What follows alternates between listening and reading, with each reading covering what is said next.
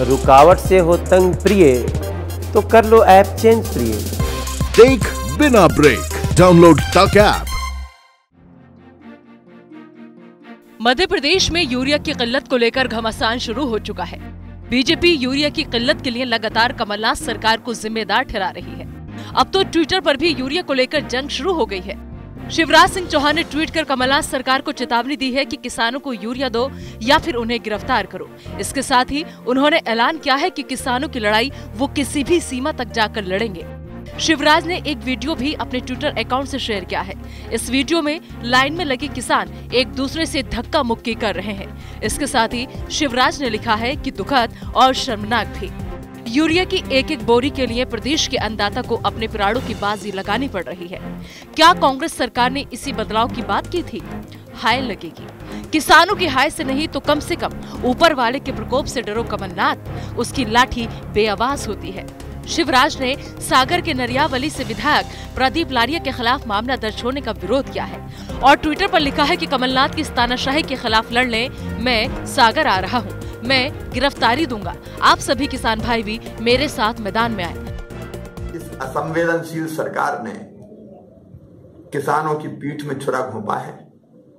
पहले कर्ज माफ़ नहीं किया, बोनस की राशि नहीं दी, राहत की राशि नहीं बांटी। किसान वैसे ही पिटा हुआ है और अब ऊपर से यूरिया की हाहाकार मची है। जब हमारी सरकार थी हम यूरिया का अग्रिम भंडारण करके रखते थे और किसानों से कहते थे कि तीन महीने पहले ही उठा के ले जाओ, ब्याज के पैसे हम भरेंगे, चिंता मत करो। कभी यूरिया का संकट हमने नहीं आने दिया। लेकिन इनको भ्रष्टाचार करने से फुर्सत मिले तब किसानों की समस्याओं की तरफ़ ध्यान दे। और इसलिए खाद की मारामारी मची है। रात रात भर, दिन और रात घंटों लाइन में खड़े रहने के बाद एक एक दो दो बोरी खाद नसीब हो रही है, संगीनों के साय में फ़सलें चौपट हो रही है किसान की खाद के अभाव में। और इसलिए, और इससे, हद तो यह है कि कोई विधायक आवाज़ उठाए, किसान को खाद दो, उनके साथ धरना दे तो उस पर प्रकरण लाद दिया जाता है। कल मैं जा रहा हूँ, सागर गिरफ्तारी देने। यूरिया दो या गिरफ़्तार करो।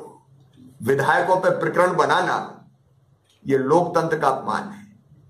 जनप्रतिनिधि की आवाज़ दबाना है जनता को कुचलने का काम है।